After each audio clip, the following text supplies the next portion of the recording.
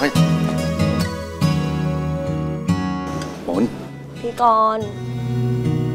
พี่กรณ์อย่าทำตัวน่ารักไปมากกว่านี้นะคะ ไม่งั้นน่ะ